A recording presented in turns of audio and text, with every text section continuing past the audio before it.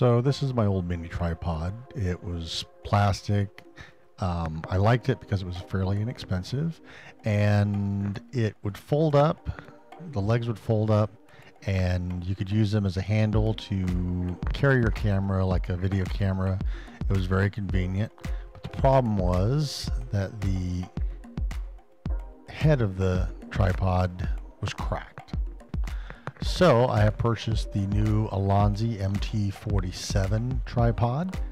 Uh, this is an all metal tripod, comes in a nice box.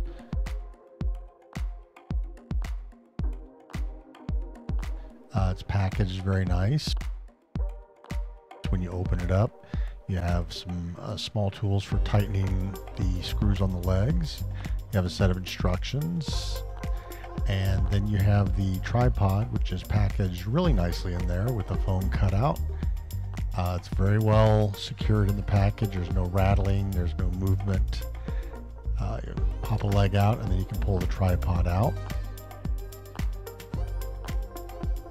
Now, as you look at the tripod, you'll notice that it's got nice rubber grips on the handles. It has, like I said, all metal construction. There is a ball head. The release on that is a very easy release and a very positive lock on it.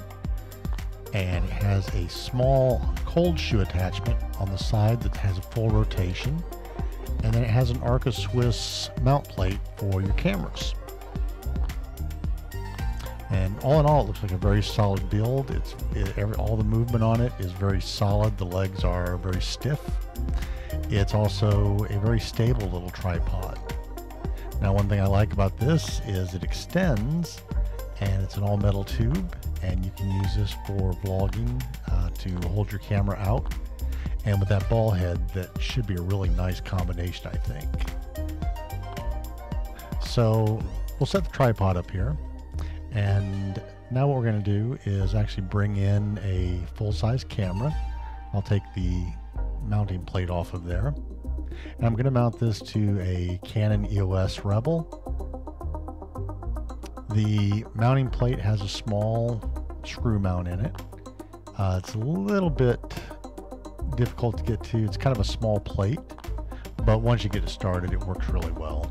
And it is a very solid, and it's a very solid plate. It is, again, all metal, just like the rest of the tripod.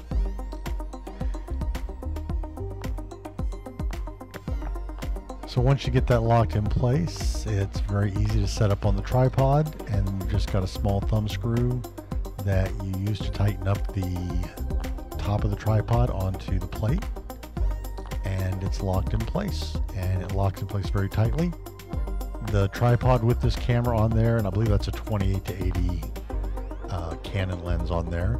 It's very stable. It's very sturdy. I think you could set this up, and as long as there's no major vibrations of the table, I think you can have a very solid shot.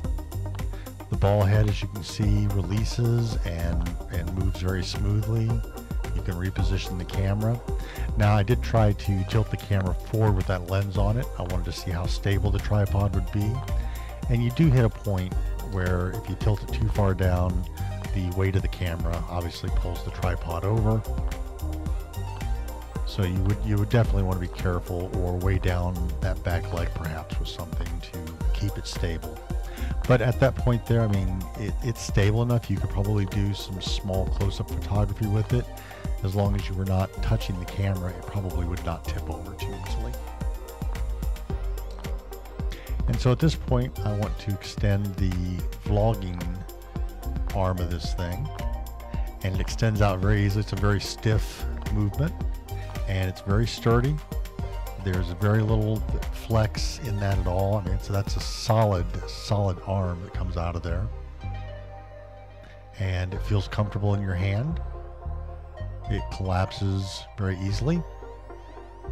And again, that ball head is, is adjustable and you can very quickly collapse it back down, set it back up for just a tabletop tripod use. So all in all, I'm impressed with this little tripod. I think it's a good buy and I suggest that you take a look into it. It's the Ulanzi MT47 metal tripod.